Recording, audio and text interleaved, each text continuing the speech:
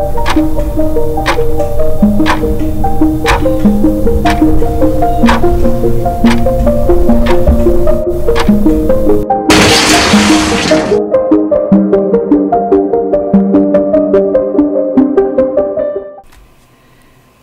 everyone, welcome to another C++ programming uh, tutorial.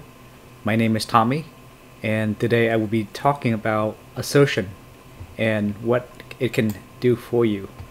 So um, assertion is uh, a method or way of checking for a particular failure or violation in the code base on the comparison of a particular result against an expected value if the value is not as expected, the program will terminate and report the specific line in code that caused the issue.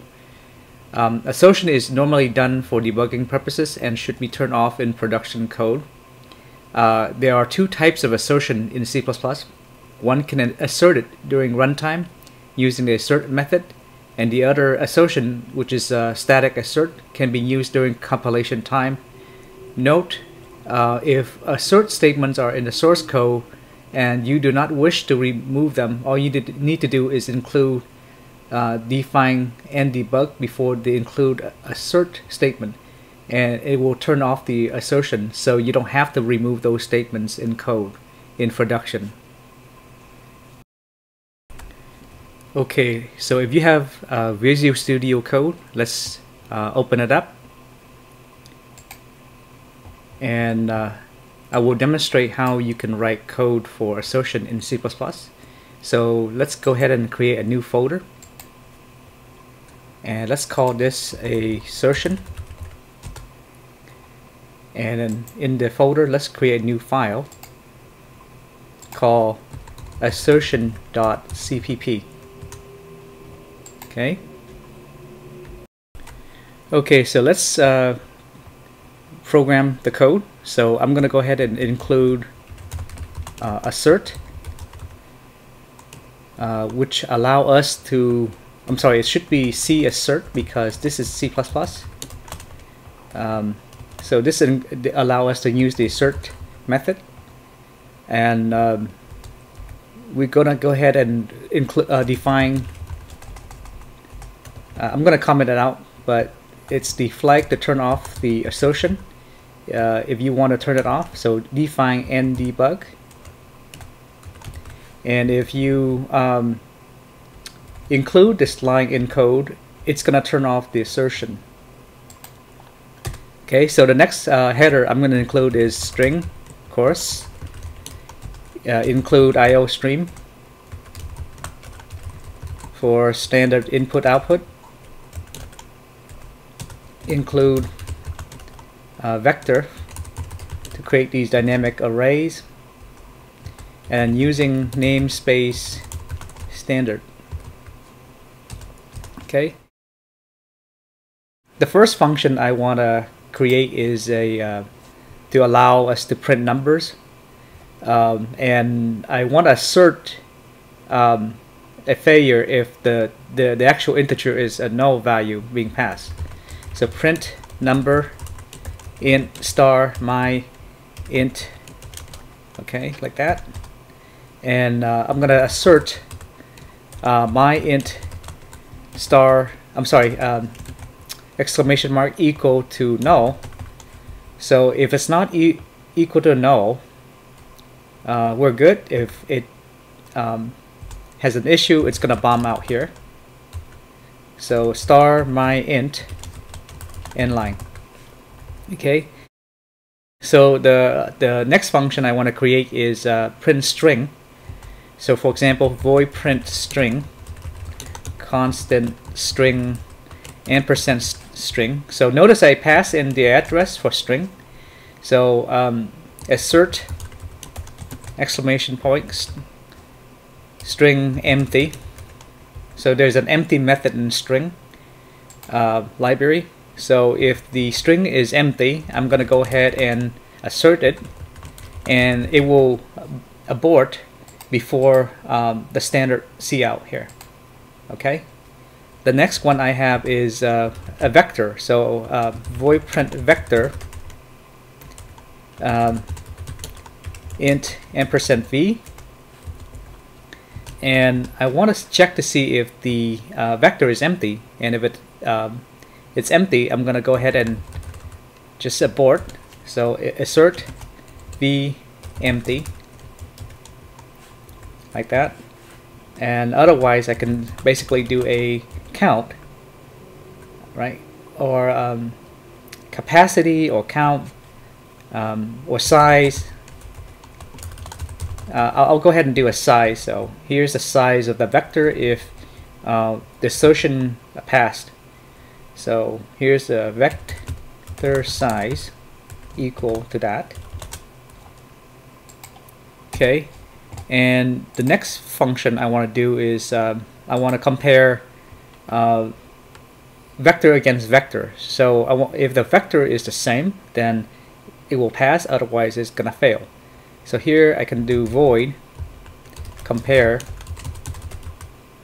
uh, vector vector int n um, percent a vector b okay and here I'm to go ahead and do an assert assert standard um, assert I'm sorry equal standard equal a begin um, a end and I'm gonna begin from the beginning. Okay? And I want to make sure that um, you know if it's true then um, you know if the, if it's the same then um, we're okay. Otherwise we're gonna fail it right? Okay so let's uh, go in and uh, create our main. So I'm gonna declare int main just like so. And I'm gonna create uh, a couple variables. So int a equal 10 int star b. So this is a pointer integer pointer. And we're gonna assign b equal ampersand a. And we're gonna type in print number and pass in the uh, b pointer okay? And notice right now b um, points to a which contain a value. But if we decided to pass in b itself without the assigning of the address of a then I'm pretty sure it's gonna fail. So let's uh, do return 0 and uh, let's save this and open up a terminal. So open up a terminal. And I have a, a directory called assertion that I created. And there should be a uh, assertion.cpp so g++ standard equal to c++14 assertion that's my command to compile the code. And if we type in a dot out, what do we expect? 10. It passes, right?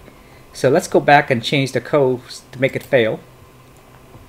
So uh, if I decided to comment out this code, this line right here, line 35 that you see here, I expect a failure, right? So let's go into back to our terminal and recompile the code.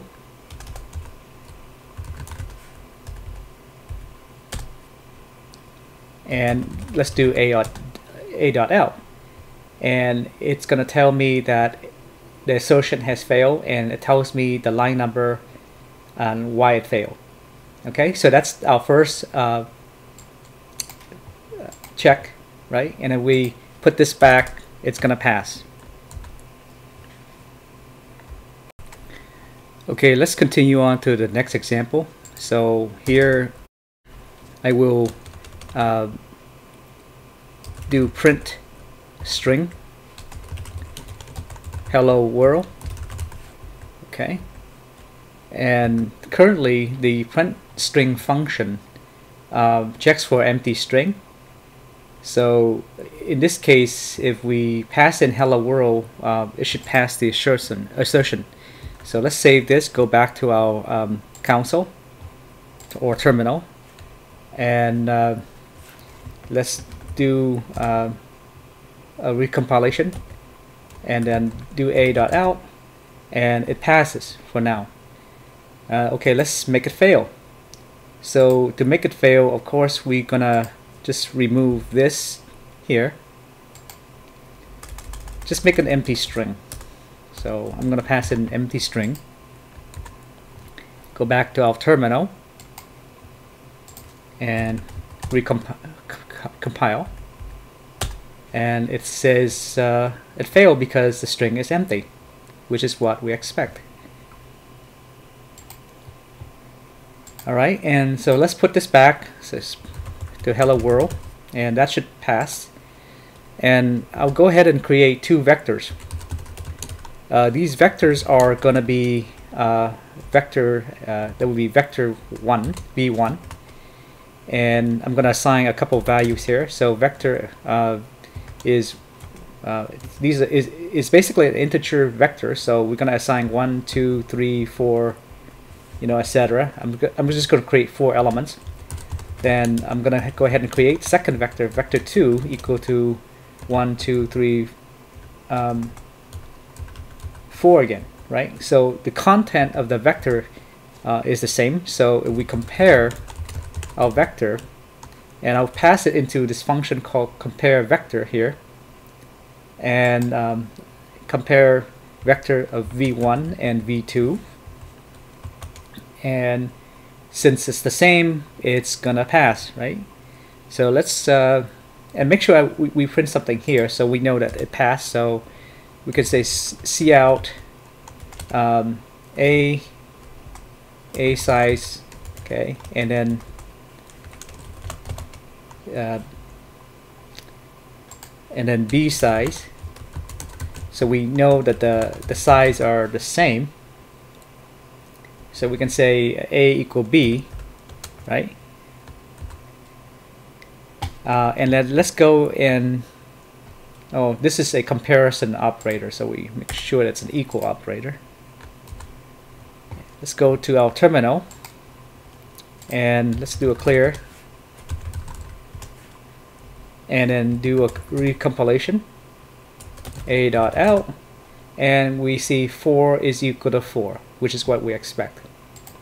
Now if you change the content right and let's say make one of these elements to be different so I'm going to go ahead and change this to a uh, 5 right? And uh, you can see here uh, that uh, uh, let's go back to our terminal and uh, go ahead and recompile and then do a dot out. And it still passes. Did I save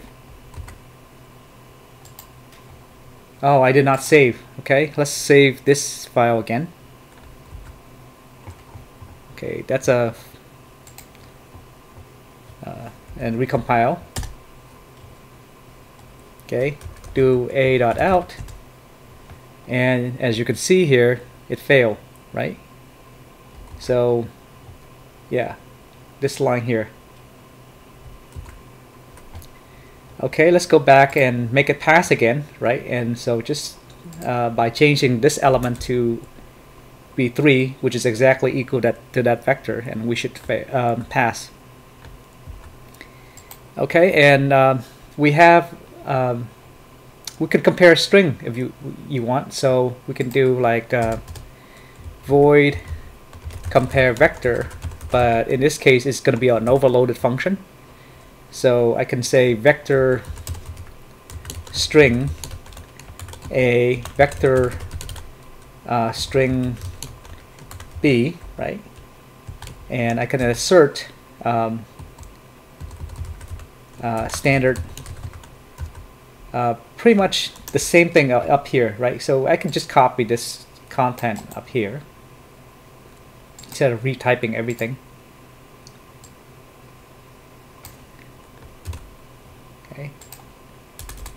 And uh, I'll go ahead and create two uh, the contents of um, these two vectors. So I'm going to go ahead and vector string equal v1 I'm sorry gonna be v3 right? Because we already have v1 equal to let's say a comma b comma c